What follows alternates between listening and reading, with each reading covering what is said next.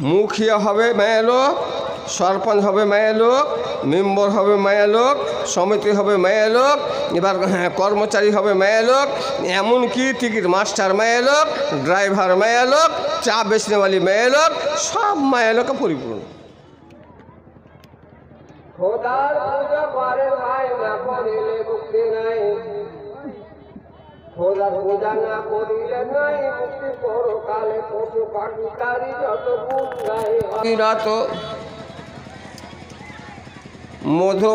গুণ গুন করে গায় তারে গুন ঘোঘো সাপ বৃক্ষ পারে তুহি তু তুহি তু করে। কোকিলেরা নিজ ভাষায় খোদার প্রেমের গান গায়, সে গালেরা হুহুরাবে খোদার গুণ গায় সবে। তুমি আহে জ্ঞানী গুণ কর তোর গুণ, কীর্তন গাও, মহিমার গান, যদি চাও পরিত্রাণ। করে না যে পূজা তার নাই কব মুক্তি তার, আশার সংসারে ভাই, ধর্ম তুল্য ধন নাই। ধর্ম ধন সঙ্গে যাবে রাজ্য ধন পড়ে রবে মাতা পিতা পরিবার সঙ্গে যাবে না তোমার। নাই যার ধর্ম ভক্তি সে কভু পাবে না মুক্তে। ধর্ম ধনে যে কঙ্গাল কাঁদবে সে চিরকাল অনিত জগৎ, প্রেমে নাশে যে পরম ধর্মে। তার মতো নারা ধম নাই রলে বতি কম ধর্মহীন, পরকালে চলিবে নর কানলে। যদি মানুষ হতে চাও, মনে মুখে এক হও, মুখে তুমি বলো যাহা কাজ কামে করো তাহা। পাকা মুসলমান হও, বড় করে ছেড়ে দাও। এ তোমার মতো কোটি কোটি ব্যক্তি হয়ে গেল মাঠে। যা শ্মশানে, গোরস্থানে দেখে আসো নিজ নয়নে। পড়ো বিদ্যা, হও বিদ্যা, লভ, ধর্ম ধর্ম জ্ঞান খাও খাদ্য, খাটিয়া, দিন গরিবকে বাঁটিয়া। নবীদের নীতি ধরো, কাপুণ্য স্বভাব ছাড়ো। কাঙ্গালকে করিও না, হেলা কাজে লাগে ভাঙ্গা কোলা। বাঘ জালে ফেঁসেছিল এন্দুর হাতে রক্ষা পেল সুখে দিন। কাটতে হলে দাও, কোনো ব্যবসা খোলে। কাজে পারে পারে না, তার কষ্ট ঘুচে না। থাকে আনা, বহে হাল, তার দুঃখ চিরকাল। বসে খায়, কইরা ধার, তার মুখে ঝাঁটা মার। আর আবুল কাসিম কবে কার বলে, সামনে সবাকার নিত্য মন কান্দে কার হয় ছেলে কোলঙ্কার যার। জগৎবাসী দূষণকার চরিত্র ঘৃণা যার মধুমাছি ডংসে কাকে যেজন ঢেল মারে তাকে বিপদ খুঁজে বাড়ি কার হয় অদৃশ্য মন্দ যার সম্মান খুঁজে বাড়ি কার পকেটে পয়সা পোড়া যার কোলে থেকে মান্য মান যার গোলা ভরা ধান করে লোক ভক্তি কার যার হাতে শাসন ভার রাখাল মারে কাকে ঢেলা করে লোক যারে হেলা মিঠা তিতা লাগে কাকে লোক ঘৃণে করে যাকে হয় মাঠে নিন্দকার থাকে মনে শান্তি যার আর হয় না রাতে নিন্দকার করজাবিকে বাড়ে যার। ভিটা গোগো চারে কার, আয়ের বেশি খরচ যার, মাথায় আগুন জলে কার জুয়ন বেটি বাড়তে যার। চাই যবতী, যুবকপতি, চাই না বৃদ্ধ রজ্যপতি ওরে বোকা হয় না গান, বেটি হলো নজওয়ান। বড় বাড়ি খুঁজিস না জুয়ান বেটি পুষিস না। আর জ্বললে মুন্তর কামানোলে, যাবে করে সাথে চলে? সেদিন তোর হবে না মান, হবে ধ্বংসে বংশের মান পোলো খেতে খেয়ে না চায়, যদি পোলো পাওয়া না যায়, তখন জ্ঞানীরা দুনিয়ায় রুটি খেয়ে যান বাঁচায়। পাগল কাশিমের কথা মান দেবিয়ে জামাই খুঁজা আন। ভালো বংশের জামাই ভালো, কি ক্ষতি হইলে কালো? হইবে না ফজলির সাথে যত হোক দিল সাদ হয় না গোলাপ সেন শিমলে, হয় না খুব শান্তি তুলে আঁতর মাখলে ছুঁচার গায়ে বংশের গন্ধ তার কি যায়। শাড়ি কত বলব ভাই শাড়ির কিন্তু শেষে নাই। যদি বাঁচি কোনো দিন আবার এসে বলব মোমেন, দুয়া করবেন আমার তরে ভালো খোদা রাখে মোরে। বসে থাকেন, হয়ে আসছে। একবার জোর করে সবাই আল্লাহকে ডাকেন না রে থাকবে মুখে মুখেই আপনার ফেবিকুইক সাটা আছে নাকি? আল্লাহর নামটা লিখতে এতখানে ই ডর না কিছু পয়সা খরচ হয়েছে? আল্লাহর নামটা নিতে হয়। কথাটা বলার আগে ওইটাই হলো এক মূর্খ গুয়ার দুটা বেটাকে পড়িয়ে দিয়েছে ভাগ্যক্রমে তো আল্লিম মতাকুম সুরায় আসিন। দলিলে আছে যখন কেউ মরবে তো ওর পাশে খানে সুরায় আসিন? পড়িও। এটা তার্গিবের কথা। কেন সুরাই আসিন পড়তে গেলে? ওকে বাঁচিয়ে দেওয়া লয়। ওর মতের জাকামদানিটা আসানি পাবি। তার লেগে কোরআনটা পড়তে হয়। তো এক বেটা সুরাই আসিনের তিন চারটা আয়াত পড়া হয়েছে। আর একটা বেটা হাফিজিলানি দিয়েছিল, ওই বেটাটা খুলে খালি বলেছে, ইয়াসিন ওয়াল কোরআনিল হাকিম, ইন্নাকা লামিনাল মুরসালিন। এই পর্যন্ত পৌঁছেছে। ও গুয়া তখন বলছে কি, আবে কানের কাছে ঘ্যানার ঘ্যানার করিস নে ওর হাতে পড়ে গেছি। কোরআন পড়ে তোরা আমার আসান করতে পারবি? মন কর কোরআন ওই ব্যাপারই লাগছে যে মানে আপনাকে মানে এই আল্লাহ আবার কথাটা বলতে ঘেনার ঘেনার লাগছে নাকি? জোর করে ডাকে না এখন লোক খাড়ো হয়ে আছে কেন? বক্তাদের মুখ, আখার মুখ। কি থেকে কি বলে দিব, তখন লাঠিলে সব দৌড়াইবে। দয়া করে বসে যান। প্রশংসা আল্লাহ পাকে যে আল্লাহর তারিফ করে কোনো শেষ নাই। যে আল্লাহ পাক বাদশাকে ফকির, ফকিরকে বাদশাহ, সুখীকে দুঃখী, দুঃখীকে সুখী। যে আল্লাহ পাক স্বাস্থ্যকে, রোগী, রোগীকে স্বাস্থ্যবান করতে পারেন, অতপর তার বিশ্বনবী মোহাম্মদ সাল্লাহ সাল্লামের উপর ওয়াগনন দুরুদ সালাম অবতীর্ণ হোক আল্লাহ সাল্লাম সাল্লাম বারিক আলাই আমি জানি না আমার সময় কতটুকু আছে, এটা জানি না। জানতে পারলে বেশিটা ভালো হতো যে সেই হিসাবে মানে এক ঘণ্টা টাইম আমার এক ঘণ্টা টাইম আছে, এক ঘণ্টার মধ্যে মোটামুটি ধরেন যে পনেরো মিনিট চলে গেলো, পঁয়তাল্লিশ মিনিট আপনাদের সম্মুখে বলব। ছোট্ট একটা ঘটনা বলব। আমার মায়েরা, তোমরাও শোনো। জালসাটা হলো বানাত মেয়েদের মাদ্রাসার মাদ্রাসার নাম উম্মাহাতুল মুমিনিন। মাদ্রাসার নাম কত পছন্দ কত সুন্দর। এটা বানাত মেয়েদের মাদ্রাসার এটা জালসা। মেয়েরাকে দিন শিখতে হবে। আর এখন এ বানাতগুলো হয়ে আমাদের কিছু কিছু লোক, কিছু কিছু মা একটু আলো হয়েছে। আলোর পথে দাঁড়িয়েছে আর ঘরে আল্লাহর কোরআনের আলো জ্বালতে লেগেছে। মেয়েরাই হলো, এরাই শরীয়তকে প্রথম। পৃথিবীর বুকে মেয়েদের দেলটা কত বড়টা, পৃথিবীর বুকে সর্বপ্রথম কলেমায় তাইব, লা ইলাহা ইল্লাল্লাহ মোহাম্মদুর রসুল্লাহ এই কলমাটার ওপরে যদি বিশ্বাস এ ধর্মের ওপরে বিশ্বাস এ নবীর ওপরে বিশ্বাস, আল্লাহর কোরআনের ওপরে ইমান আল্লাহর ওপরে ইমান আর বিশ্বাস যদি কেউ করে থাকে, তো সেটাই ছিল নারী। অর্থাৎ আমার মা খাদি খাদিজাতুল কুবরা। দুইটা স্বামী গত হয়ে গিয়ে তিন নম্বরে আমার নবীর সঙ্গে বিয়ে হয়েছিল। তারিখ লিখছে একটা কথা। তো খদিজার যাহা তাহা জ্ঞানী মেয়ে ছিলেন না, আমার মায়েরা বোনেরা, তোমরাও মেয়েদের মধ্যে জ্ঞান আছে, মেয়েরাও ধর্ম জানে, মেয়েরাও হাদিস কোরআন জানে, কথায় কথায় আয়তে তর্জমাটা পরে করছি। উদাহরণে একটা আপনাকে কথা বলি, এক মোল্লাজি ছিল, তো মোল্লাজি লোককে ফতোয়া দিয়ে বেড়াতো মোল্লাজি এখন ফতুয়া ঘাঁটায় ঘাঁটায়, দোকানে দোকানে, ডহারে ডহারে, রোডে রোডে ফতুয়া খালি এখন গড়ে বেড়েছে। ফতুয়া নিতে আর মৌলবীর কাছে যাওয়া যাবে না। কালকে গত রাত্রে জলসাই ছিল, তা আমাকে একটা ফতুয়া জিজ্ঞেস করলেন মালানা মোহর সম্বন্ধে কথাটা বলুন। তা আমি বললাম যে, ভাই, আমি কোনো মুক্তি নই। ফতুয়া দেওয়ার হক আমার নাই। হ্যাঁ আপনারা আলেম মানুষ ফতোয়া দিবেন না? না ভাই, ফতুয়া সবাইকে দিতে হয় না। আমি এর সম্বন্ধে বলব না। আমার নানা আছেন শেখ মালানা এনামুল হক মাদনী সাহেব, উনি বলবেন। উনি বলছেন, যখন বলছে তা তুই বলি দে না। আমি বলব না, ফতুয়া জীবনে কাউকে দিনই দিবও না। এই ফতুয়া দেওয়ার কারণে আমাদের সম্মান চলে গেল। এক মুলবি বলছে, এটা হারাম, ওইটা হারাম।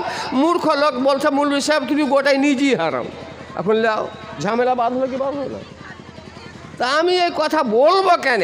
যে মুফতিরা ফতোয়া দিবে। তো মোল্লাজি ফতোয়া দিত, লোককে এটা করো, ওইটা করো, এটা বেদাত এটা বেদাত, এটা হ্যান, ওইটা ত্যান। এরকম নামাজ পড়তে হবে না, হ্যান করতে হবে, ত্যান করতে হবে। হঠাৎ একটা লোক তখন বলছে মুখ ঠোহরের মতো, ও মোল্লাজি তুমি লোককে ফতোয়া দিয়ে বেড়েছো তোমার বাড়ির বহু বেটি কাকে ফতোয়া শিখা গো ওরা নমাজের তাল নমাজের আরকান আহকাম জানে কি জানে না? আর তুমি লোককে ভদর ভদরকে ফতোয়া দাও। লোকটা মোল্লা দিয়ে আহামুখ হয়ে গেল। আহামুখ হয়ে তিনটে বউ, তিন ছেলের বিয়ে দিয়েছে। বউরাকে একবারে এক নেটে ঢুকে দেহি দিয়ে ঢুকতেই বউরাকে ডেকে বলছে, ওগে খায়রন ফাতেমা সালেহা তাড়াতাড়ি এখানে এসে বৌমা কি হয়েছে আব্বা? আব্বা আব্বা লিব না। লোকের কাছে আমার মুখটা একবার ছোট হয়ে গেল। কেন কথা বলতে পারলাম না? নমাজের কথা বলতে গেছি এদাত বেদাতের কথা বলতে গেছি। তোমাদের হিল্লা দিয়েছে, নমাজের যদি কোনো আহকাম না জানো, নমাজের খুঁটিনুটি যদি না জানো, তবে তোমরাকে ছেলের মা হলেও কি হবে? আমার ছেলেরাকে বইলে তালাক দিয়ে বাড়ি থেকে বিদে করে দেবো। বউরা বলতে যায় শ্বশুরের মাথা খারাপ হয়ে গেল, এই সাঁতালের মতন যে মাজ্ঞানে করেছে রে। কী ব্যাপার? কি হয়েছে আব্বা? কি হয়েছে নাই? বল রে মা, ফাতেমা। তুমি হলে হাজির বেটি। দিনে রাতে কয়েক তো নমাজ আছে? তাতে ফরজ কয় রেখাত আর সোমনাথ কয় রেখাত? বলছে, বাস এখানটা এটুকি আমি বানাত মাদ্রাসায় পড়েছি। হাজির বে আমি মাদ্রাসায় পড়েছি দিনই তালিম নিয়েছি। আব্বা যান, দিনে রাতে পাঁচ চক্র নমাজ ফরজ, আর ওই পাঁচ চক্রের মধ্যে সতেরো রেখা ফরজ, বারো রেখা সোননাথ কোথায় তবে ই জানে এ বহুটা জানে। বাবা তবে তোমার ভাত বাঁচলো বেটারাকে বলে, আর ই করব না। ঠিকই আছে, তুমি জানো। মেয়ে যে বউ সালেহা বলো, মারে আমার, তুমি মাস্টারের মেয়ে। তোমার বাবা একটা জ্ঞানী মানুষ ছিল। জ্ঞানী মানুষ, তার তুমি মেয়ে। লেখাপড়া শিক্ষা দীক্ষা অনেক করেছ। শোন মা, দিনে রাতে কয়েক নামাজ ফরজ এক এক করে কেউ জানে কারোর কথা শুনতে না পায়। এক এক করে বউরাকে ডাকে, আর ওই ফটোয়া জিজ্ঞাসা করে, নামাজের কথা জিজ্ঞাসা করে, সলেহা, বলো তো মা, তুমি এবার দিনে রাতে কয়েক নামাজ ফরজ আছে? বলে, আব্বা, এটা স্বাভাবিক ব্যাপার। আমার পেটের ছেলেরাও বলে দিবে, দিনে রাতে পাঁচ তো নামাজ ফরজ। এবার বলছে মা, তাতে ফরজ হলো কয় রেখার এবার মেজ বউ সালেহা বলছে, আব্বা, দিনে রাতে পাঁচ অক্ট নামাজ ফরজ, পাঁচ অক্ট ফরজ, কিন্তু তাতে ফরজ হলো পনেরো রেখা মাঝকাল বউ বলছে যে পনেরো রেখা, ভেজাল লেগে গেল। বড় বউ সতেরো রেখাত আর মাঝকাল বহু পনেরো রেখাত কইছে, বাড়া, আমার বাড়ি থেকে দু রেখাত কোথায় থেকে ঘটালি? আল্লাহ সতেরো রেখাত ফরজ করেছে, তো দু রেখাত তুমি কমানেওয়ালাকে কইছে, আব্বা, তুমি বাড়ি থেকে বাড়িয়ে যাও। ফতুয়ার ট্যাং জানে না? নমাজের কখন কি হয় এটা ভালো করে তোমার ওয়াকিফ নাই আর লোককে ফত করছে। আমি বাড়াবো না তো হ্যাঁ। পনেরো টাকা কেমন করে হইল? ভালো করে পনেরো টাকা এবার মেজ বউর কাছে মুখটা ছোট হলো। পনেরো রেখাত আমি পুড়িয়ে দিব। তুমি পুড়িয়ে দিবে হ্যাঁ আল্লাহ ফরজ করেছেন পনেরো রেখাত এইবার ছোট বউকে ডেকে বলেছে, মা, আমার খাইরুল নেশা, তুমি বলো তো, মা।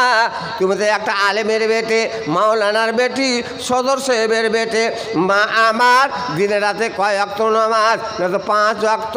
তাতে ফরজ কয় রেখাত ছোট বহু বলছে, এগারো রেখাত ঝামেলা লেগে বড় বহু সতেরো রেখাত মাঝগাল বউ হলো পনেরো রেখাত আর ছোট বউ বলছে এগারো রেখাত কোনটা সহি।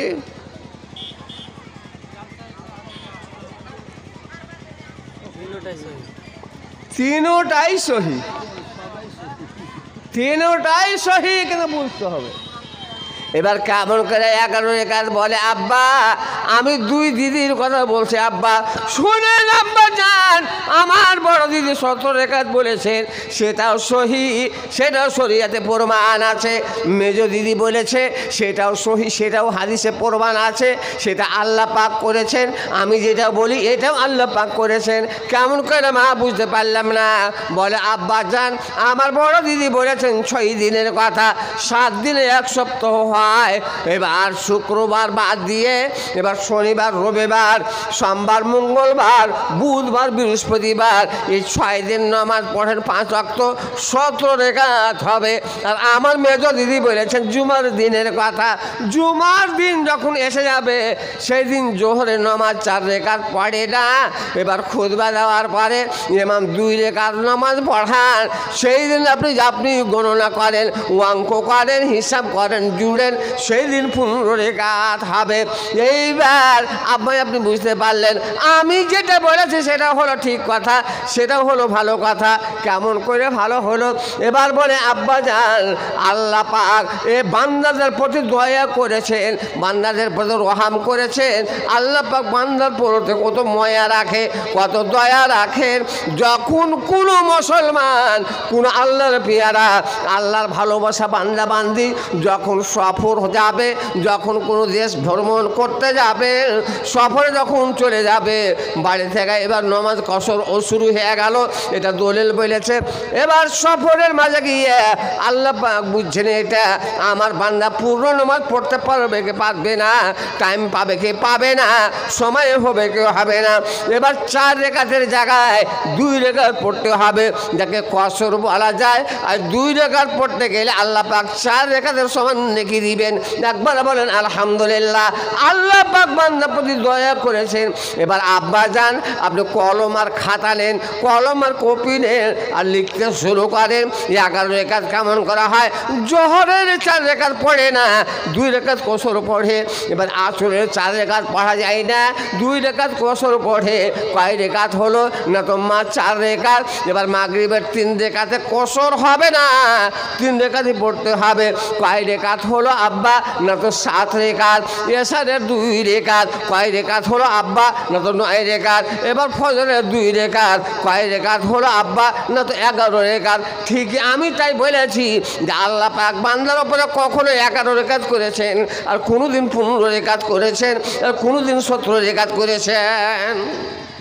ফতুয়া জানো না, লোককে ফতুয়া দিয়ে বেড়াও। মায়ের লোক কলমা জানে।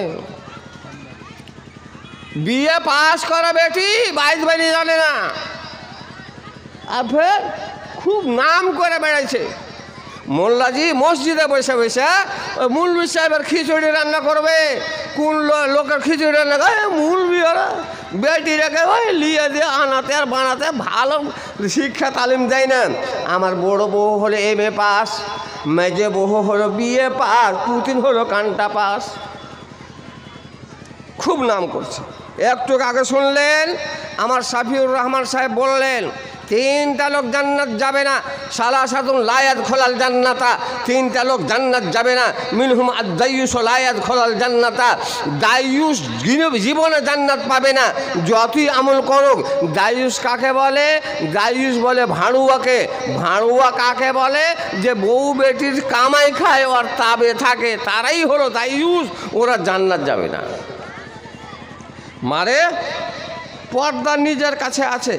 গোটায় জাহানের মুলবি মালানা এতদিন পর্যন্ত পর্দা করো পর্দা করো। তোমাদেরকে ওয়াজ করে করে যতটা আগাইতে না পেরেছি, আমার বর্তমান যুগের সরকার এ পনেরো বছর থেকে এমন স্বাধীনতা দিয়েছে, সে পর্দাকে ছিঁড়ে ফেলে দিয়েছে। মুখিয়া হবে মেয়ে লোক সরপঞ্চ হবে মেয়ে লোক মেম্বর হবে মেয়ে লোক সমিতি হবে মেয়ে লোক এবার হ্যাঁ, কর্মচারী হবে মেয়ে লোক এমনকি টিকিট মাস্টার মেয়ে লোক ড্রাইভার মেয়ে লোক চা বেচনেওয়ালি মেয়ে লোক সব মেয়ে লোকে পরিপূর্ণ। ওরকে দাম বেশি। ওরকে দাম বেশি হয়ে গেল। আমার বাড়ারি ক্ষেত্রের মধ্যে আমি নাম ধরে বলছি না, আমি খালি বাড়ারি বরক্তার কথা বললাম। এক মাওলানা নাদবী সাহেব, যোগ্য আলেম। স্ত্রীটাকে যা বলছে যে, বিবি রে, আফজালের মা না কী বলছেন? এইবার মুখিয়াতে নমিনেশন ফাইল করব। তো নামটা তোমার হবে, কারণ মেয়ে মেয়েরাকে অধিকার দিয়েছে। স্ত্রীটা নামাজে মেয়ে, ভালো ঘরের মেয়ে। বলো, স্বামী যান আপনি একটা আলেম মানুষ। আপনি একটা আল্লাহ আল্লাহ নবের হাদিস অর্জন করেছেন, আল্লাহর কালাম শিক্ষা দীক্ষা করেছেন, লোককে ওয়াজ নসিহাত করেন। এত বড় পাপি করিয়েন না, এত বড় অন্যায় করিয়েন না। আমাকে দায়ুষের মধ্যে আপনি দায়ুষ হয়ে যেন না। আমাকে বেপর্দা করিয়েন না। লোকের কাছে যেমন ফকিরে ফকিরেরা, কোটা কাটোরা হাতে করে খোরা হাতে করে ভিক্ষা করা চায়, ঠিক তেমনই আমাকে ভিক্ষা চাইতে হবে। এত বড় অপমান করিও না, চার ছেলের মা হয়ে গেলাম, আর আমি এখন ভোটে দাঁড়িয়ে যাব, আমি মুখিয়াতে ফাইট করব, আমি মুখিয়াতে নমিনেশন করব প্রধানে নমিনেশন করব, আমার দ্বারায় হবে না, কোর্টে যেতে হবে, আমাকে ব্লকে যেতে হবে, অফিসে যেতে হবে, কোথায় কোথায় যেতে হবে, এইবার মৌলানা বলছেন, মৌলানা বললেন, বিবি রে খেপের মতো কথা বলল না, পাগলির মতো কথা বলিও না। যত কাজ আমি করব, শুধু নামটা তোমার থাকবে। যত কাজ সব আমি করব, নামটা তোমার থাকবে। ওরে খেপা বলবি অরিজিনালি যখন বলোকে কাম হবে, তোর দাঁড়াতে হবে না অরিজিনালকে যেতেই হবে। স্ত্রীটা কত হাত পা ধরলো মানলে না। নাম নিশান করে দিলে যে যা ধায় সে তাই পায়। আল্লাহ বলছেন বোধহয় মুলু সাহেব যখন তুমি ধর্মের পণ্ডিত হইয়া তুমি যখন ইজ্জতের দিকে ধ্যান দিলা না তো তোমাকে দুনিয়াতে এত ভালো করে সম্মানটা দি। ভাগ্যকর্মে মুখিয়াতে জিতে গেল। মুখিয়াতে যখন জিতে গেল জিতে যাওয়ার পরে বারারি ব্লক গেছে নতুন গাড়ি নিয়েছে আপচি গাড়ি। আপচি না আপাচি কহে? আপাচি। হ্যাঁ। মানে আমার গ্রামে একটা লোক আপচি করে চলে ব্যাটার বিহার লেগেছে আপচি গাড়ি নেব। এইবার বসে না বাবা তোমরা ওয়াজ খালি শুরু করে, সেখানে ওয়াজ করে করিনি। আয়তের দিকে যাব, তোমরা বসে যাও, এই সামনেখানে একবার দেখে ভালো লাগে না, অশুভর মতো লাগছে, বসে যাও। কোলে পাঁচ, ছয় মাসের একটা ছেলে আছে, বেটা ছেলে। ছেলেটাকে তো বাড়ি রেখে যাবে না।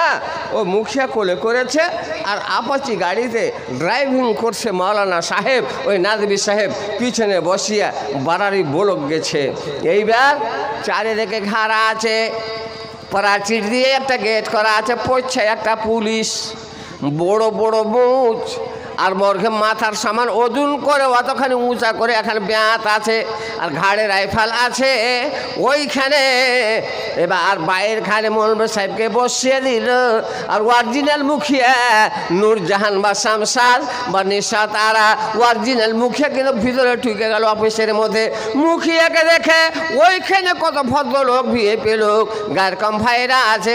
প্রণাম মুখিয়াজি, নমস্কার মুখিয়াজি, যেই যা পারে তাই বলে, কেউ তো হাত মুসাফা করে, একটা মুলবে সাহেবের স্ত্রী, একটা গাঁর হিন্দু ভাই হাতে মুসাফা করছে মুখিয়ার খেয়ে করবে না তো কি? এবার ঘরের মধ্যে গেল, আর এই দিকে গেটের বাইরে স্বামীকে ওই পাঁচ মাসের বেটা কোলে দিয়ে বসিয়েছে যে আমি শুধু এই কাগজগুলোতে আমি ডিএমের বা ফালানার ডিওর সহিটা করে চলে আসি। এইদিকে ওই যে মুখিয়াজিকে নিয়ে তারা রামনাথ করতে শুরু করেছে, হাসি মজাক শুরু করেছে। এই দিকে ছেলে কাঁদতে লেগেছে যখন ছেলে কাঁদতে লেগেছে, ছেলেকে চুপাবার জিনিস বাপের কাছে নাই, সেটা তো মার সঙ্গে করে গেছে। ছেলে চুপাবের জিনিসটা বাপের কাছে নাই মা সাথে নিয়ে গেছে। ছেলের কান্দন দেখে অফিসের তরফ থেকে একটা সমস্যা দেখে সিংহড়া বলে, একটা সিংহড়া একটা রসগোল্লা দিয়ে পাঠিয়েছে ছেলেটা খাবে, চুপবে, বলেন তো পাঁচ মাসের ছেলে ভালো সিংহড়া খায়? আরও কাঁদছে।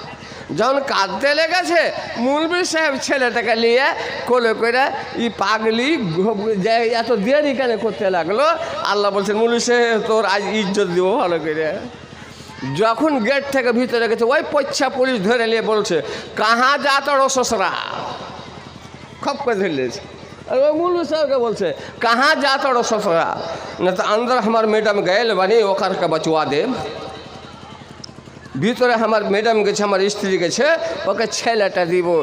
পয়সা পুলিশ, ওরা যে জিনিস মালই তো তাই। বলছে, তোর স্ত্রী কি তোর বাপের স্ত্রী? আমি জানি না। যেতে দিব না। আইনি নাই পারমিশন নাই যেতে দিব না।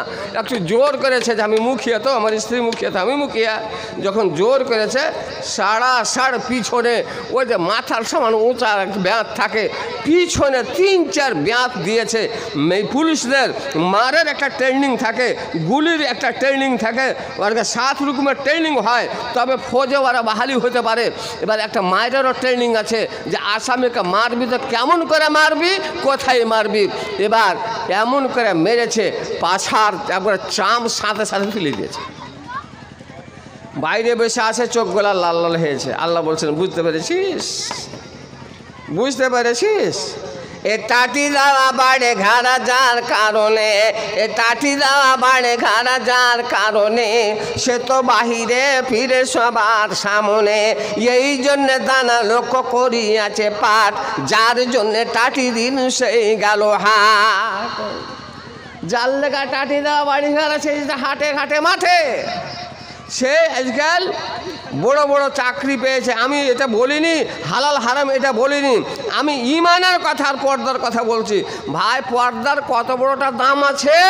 আমার মা বোনের বর্তমানে দাম, মূল্য এত দূর ঘটে গেল, যেমন পাকা কলার মূল্য নাই, ঠিক তাদের কোনো দাম নেই।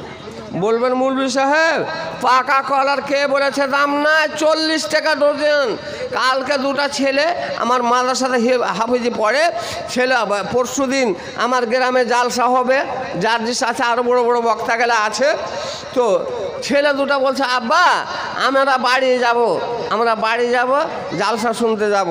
মাদার মাদ্রাসাতে ছুটি নিয়ে আসলাম ছেলে দুটাকে।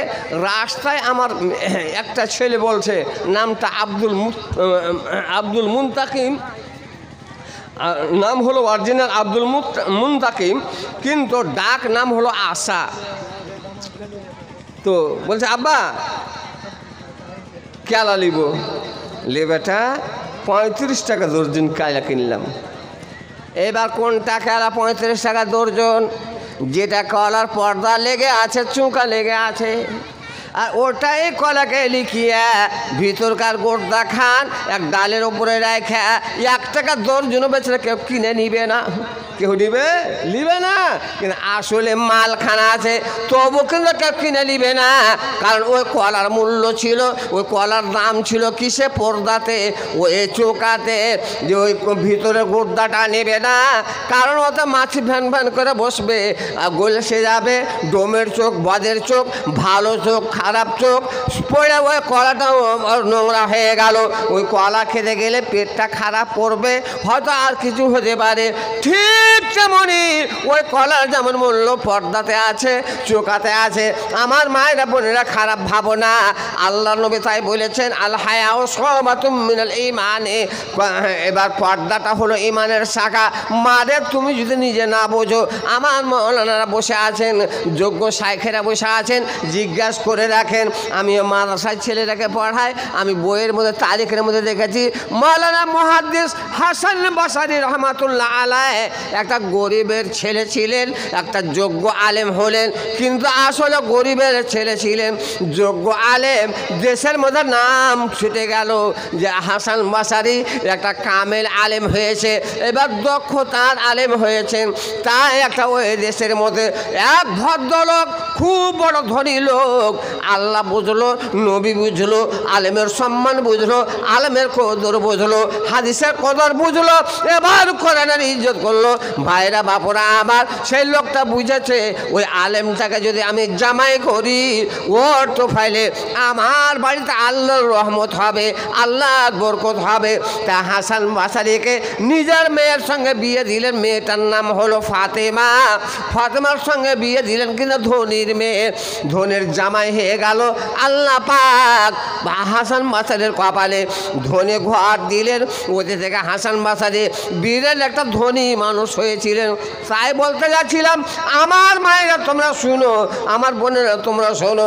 হাসান বাসারেকে জামাই করলেন, কিন্তু এই দিকে ধনির বেটি, ধনির বেটিদের যেটা স্বভাব, যেটা চলন, সেটাই কিন্তু করে। আমার মালারা ভয়ে কিন্তু বলতে পারেন না। ওধেনে ওধেনে জামতা গেলে শ্বশুরের বাড়ি, দেখিয়া মুখ ভারী করে শ্বশুর শাশুড়ি, বিদ্যা বুদ্ধি কুলমান যত নির্ধনের, লাগে না কোনো কাজে স্বভাবে ধনের। আজ জীবনে ধন করে হে সঞ্চয় বৃদ্ধকালে শান্তি আছে যদি মনে রয়। কবি বলছেন। ধনির বেটি আরে বাবা এই, যে ঢ্যাট করি বলতে হবে এই নিয়ে আমার দাদা বলতো যে বেটি ছেলে এত ঘৃণা হির ঘৃণারি যে ওরা যদি মরে যায় পাশাপাশি কবর দা তো ভিতর ভিতরে এসে ঝগড়া করবে। ঠিক ওরকমই করতে লেগেছে। এইবার হাসান বাসারি প্রতিদিন তার স্ত্রী ফাতেমা বড় ঘরের মেয়ে, শেখ মহাদ্দিস হাসান বাসারিকে সঙ্গে করে ঘোড়া গাড়িতে চেপে বৈকাল বেড়াতে বাজারের দিকে ঘুরতে যেতেন। স্ত্রী ঘুরতে নিয়ে যেত, মাথার চুল গেলা বেনি গেথা ছাড়া আছে, সালোয়ার, জাম্পার পরে আছে, আর এবার সিনার ওপরে মশরির মতো এখন পাতলা ওড়না দেওয়া আছে, হাজার হাজার লোক ওই ফাতেমার দিকে তাকিয়ে দেখে, হাসান বাসারির দিকে তাকিয়ে দেখে, হাসান বাসারি মহাদ্দেশকে লজ্জা লাগে, কিছু কিন্তু বলতে পারেন না। এগুলো আগে থেকে করে দিতে পারোনি? জলদি না তা ঢাকিয়ে ফেলে দেবো। মনটা খারাপ করিও না। এইবার, হাসান বাসারি মহাদেশ লজ্জাই বলতে পারেন না, ভয়ে বলতে পারেন না, যে একে পর্দার কথা যদি বলব, একে পর্দার কথা যদি বলি, কে জানি বড় ঘরের মেয়ে চট করে বেলে দিবে, এগুলো লোকের ভাত খাব না। ওরা আজাদি চাইছে। ছেলেরাকে হাদিস পড়াইছেন মাদ্রাসায়। হাদিস পড়াইতে পড়াতে এই হাদিসটার কাছে গিয়েছেন আদায় সোলায়াত খোলাল জান্নাতা, দায়ুস জান্নাত যাবে না, দায়ুস জান্নাত পাবে না, দায়ুসের জন্য আল্লাহ জান্নাত করেননি। হাদিস পড়াতে পড়াতে মহাদ্দেশ হাসান বাসারে রহমাতুল্লাহ আলাই ভরভরিয়ে কেন্দ্রে উঠেছেন, যেমন কাঁদতে লেগেছেন, তখনই ওর ছাত্ররা ওই তোলবারা ওস্তাদেরা জিজ্ঞাসা করে ফেলল, মালানা, আপনি কাঁদছেন কানে? হয়তো কাল হাদিস পাঠালেন, আপনার চোখে পানি দেখতে পেলাম না, কোনোদিন পাইনি। আজকে আপনি কেমন হাদ, এই হাদিসটা পড়াতে পড়াতে কাঁদতে কানে লাগলেন? এবার মহাদেশ হাসান বাসারি বলছেন বাবারে তোমরা শোনো, প্রতিদিন তোমরা দেখতে পাও, এই মাদ্রাসার পিছনের রোডটা দিয়ে আমার বিবি, আমার স্ত্রী বেপর্দা হয়ে মাথার চুলকোটা খুলে দিয়ে আর বেনে গেছে আর সালোয়ার জাম্পার পরে প্রতিদিন আমাকে সঙ্গে করে বাজার ঘুরতে যায়। কত সব দেখতে পায় নারী সবকে ঘুরতে দাও, মাঠে ঘাটে কেনে কিংবা বেড়া ইতে দাও, যেখানে সেখানে আজকাল হয়ে আছে যেমন সময় কুলমান নষ্ট তারা করিবে নিশায় এই মতো অবস্থাতে গেলে বিদাসে, তাই আর বেটা পাবি বাড়ি ফিরে এসে। কবি বলতে আছেন, বিবিকে রাখো তুমি খুব হেফাজতে। কখনো না পারে যেন বাহিরে যাইতে। কেন যে মধুর ভাঁড় সামনে দেখিলে, আর ভন ভনিয়া মাছে যত খাইয়ে সব ফেলে। বোতলের মধ্যে মধু করে টলমাল, দেখিয়া মাছের মুন করে কলবাল। পিয়ালাতে রসগোল্লা রসে ভরপুর, দেখিয়া মাছের মুন করে সোর সোর সন্দেশ জিলাপি ধরে খাঁচার ওপর দেখিয়া খায় সয়ে দিলর ভিতর। ওহে অমুসলমান হুঁশিয়ার হও, অমূল ইজ্জত কেন পরকে দেখাও? মুরগার মতো সব কর মরদুমি বিবিকে আঁটিতে কেউ না করিও কমি। বিবিতের কথা মতো চলিবে যেজন, মূল্য ছাড়া ভালো তোর হবে না কখন? বিবিতের কথা মতো হরত আদম, সামালিজা না পারিয়ে খাইলেন গন্ধম। সেই দশের জন্য তোদের দিল নিকালিয়া। আর তিনশো বছর কালে দুনিয়াতে পড়িয়া। এবার মালানা বলছেন, আমার ছাত্ররা, আমার বেটারা, ওরে আমার ছেলেরা, প্রতিদিন তোমরা দেখতে পাও, তোমাদের মা, আমার বিবি, ওস্তাদ মা, ওস্তাদ, ওস্তাদের স্ত্রী আমাকে সঙ্গে করে বাজার করতে নিয়ে যায়। আমি ভয়ে বলতে পারি না, কত ডোমে তাকায়, কত চামার তাকায়, কত ভিন যাতে আমার বিবির দিকে তাকায়, আমার দিকে তাকায়। আমি লজ্জা কিন্তু বলতে পারি না। তাই আমি এই হাদিস পড়তে পড়তে কাঁদতে লেগেছি এত আমল কইরে এত নামাজ পড়ে এত আল্লাহর কালাম পড়ে, আর এত কিছু কইরে, বিবির কারণে জাহান্নাম চলে যেতে হবে। তাই আমি ওই জন্য কাঁদছি। ছেলেরা বলছে, মালানা, আমাদের তো করার কিছু নাই, আমরা কি করব? মালানা চট করে একটা দেমাগে, একটা ব্রেনে কথা এঁকে গেল। এবার মাওলানা বললেন, ছেলেরা, আমি একটা পদ্ধতি করছি, আমি একটা তোমাদের রাস্তা বলে দিচ্ছি সেই সেই রাস্তাটা করে রাখো, সেটাই ট্রিটমেন্ট করে দেখি, কি জানে আমার বিবি যদি হেদায়াত হয়ে যায়, আমার বিবি যদি রাস্তায় চলে আসে, কি মালানা বলেন? আপনার জন্য জীবন দিতে পারি সব কিছুই করতে পারি মালানা বলেন। এবার মহাদেশ হাসান বাসারি বলছেন, ও আমার ছেলেরা, যখন আজকে বোকাল বেলায় আমার বিবি আমাকে সঙ্গে করে বাজারের দিকে ঘুরতে নিয়ে আসবে, চট করে তোমরা মাদ্রাসা থেকে বেরিয়ে ঘোড়া গাড়ির সামনেখানে দাঁড়িয়ে যাবে আর দাঁড়িয়ে যেয়ে বলবে মালানা দয়া করে আমাকে এই হাদিসের ব্যাখ্যাটা করে দেন, হাদিসের তর্জমাটা করে দেন। আমার বিবির সামনে এই হাদিসের তর্জমা করে দিব, ব্যাখ্যাটা করে দিব। আমার স্ত্রীর যদিও বেপর্দা বেড়ায়, কেন আমার জানা আছে সে জ্ঞানী মেয়া, হুঁশিয়ার মায়া, দিন বুঝে। তোমাদেরকে হাদিসটা বুঝাতে গিয়ে কে জানি আমার বিবি বুঝতে পারবে, কিন্তু প্রথম ভোগা দিয়ে তোমাদের ডাঁটবো, তোমাদেরকে ধমকাবো, তোমাদেরকে মারতে উঠবো, তাতে তোমরা কিন্তু ভয় পাইও না। ছেলেরাকে একটা পথ শিখিয়ে ঠিক বৈকাল বেলাতে হাসান বাসারি রহমতুল্লাহ আলাই ওর জীবনের ঘটনাটা দেখছি। ওই গাড়িকে নিয়ে চলে আসছে, মাদ্রাসার পিছনে ছেলেরাকে বলাই ছিল, চট করে বাড়িয়ে যাবে বলছে মালা না দয়া করে গাড়ি খাড়ো করেন। যে কী হয়েছে রে বাবা? না তো মালানা, এ হাদিসের ব্যাখ্যাটা করে দেন, হাদিসটা বুঝিয়ে দেন, তর্জমা করে দেন, কোন হাদিসের বাদ তোমরা দেখতে পাও না, তোমাদের ওস্তাদ আর ওস্তাদ সাহেবনি এখানে গাড়ি দাঁড়িয়ে দিয়েছ, ই এত বড় অপমান করছ। এবার কাজ যাও, আজকে চলে যাও, কালকে বলে দিও, না মালা, না, আজকে হাদিসে বুঝিয়ে দিতে হবে, কারণ কালকে দার্সে বসে, ক্লাসে বসে, যখন আমরা বলতে পারব না, তর্জমা করতে পারব না, মতলব করতে পারব না সালিশ তর্জমা, লফজি তর্জমা, আমাদের দ্বারাই যখন হবে না, আপনি আমাদেরকে মারবেন মহাদেশ বলছেন বাবারে, তোমাদেরকে কিন্তু মারাপিরা করব না, কোনো কিছু করব না। বলে মালা না যদিও না করেন একদিন পিছিয়ে গেলাম, হাদিসে এখনও বলে দেন। বলে, বদেরা, তোমরা চলে যাও, তোমরা কি এক- একটু আদব শিখনি তোমাদের মা এখানে আছে, তোমাদের বাবা ওস্তাদ আছে, আর এই গান রাস্তা কিন্তু গাড়ি দাঁড়িয়ে দিয়েছ। কত কি করে মরনা কিন্তু মানতে রাজি না। চট করে এবার সালেহা বা ফতেমা মৌলানার বিবি বলছে মালাদা আলে মানুষকে এত কড়া দেমাগ করতে হয় না। একটু বুঝান, একটু বুঝে দেন একটু বুঝেন। ছেলেরাকে হাদিসের তর্জমাটা করে দেন, ব্যাখ্যাটা করে দেন। আমারও জানা হবে যে হাদিসটাতে কি আল্লাহ নবী বলেছেন। স্ত্রীটা বলছে যে, আমারও জানা হবে। মহাদাস হাসান বাসারি মনে মনে চিন্তা করছেন, খুশি হয়েছেন, আল্লাহ জানলে গায়ে ফারুক নবী কি, মগর খুদ হি ও এতাত করবে। ফারুক হজরত উমর ফারুক রাজি আল্লাহ তালা আনহ দাপট করে, দাপ করে বলেছিল, বলেছিলেন যে আমি আল্লাহর নবীকে দুনিয়া থেকে বিদায় করে নিব, বিদায় করে দিব, সে আমাদের ধর্মকে বাতিল বলছে। আমি আর পনেরো মিনিট আপনার কাছে আছি। পনেরো মিনিট পরে আমি চলে যাব। কিন্তু নিজে কলমার মালা গলায় পরে নিয়েছেন। মৌলানা তাই মনে করছেন আল্লাহ হেদায়ত করার মালিক হলেন আপনি। আমি একটু চেষ্টা করছি।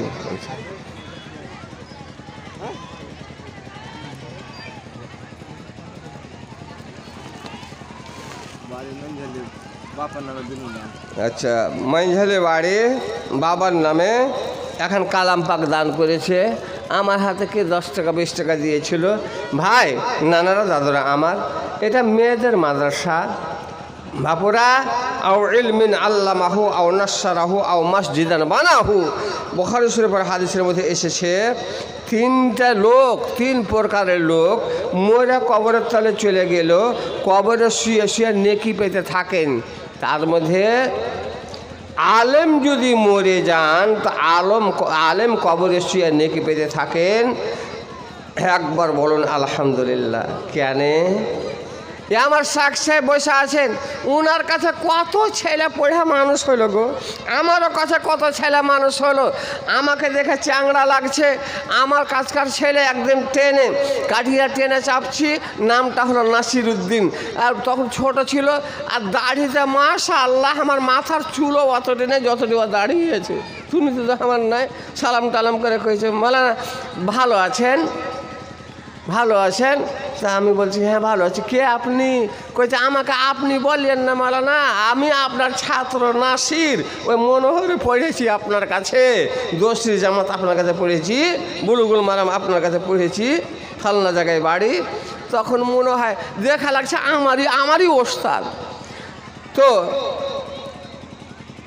আলম মরে গেলে কবর সেনেকে বেঁধে থাকবেন, কারণ ওর ইলিমটা জারি আছে, ইলিম চালু আছে। আও ইলমিন আল্লামাহু আও নাসারাহু সবাই ইঞ্জিনিয়ার মাইঝালির মুমতাজ মাস্টার আর শরিয়াত প্রচার করার জায়গায় অর্থাৎ মাদ্রাসায় যিনারা দান করেন, টাকা পয়সা, ধান, চাল, আমার মা বোনেরা লাখের কানের ডিম, কাঁথা, মুরগি, পাখা যেনারা দান করেন।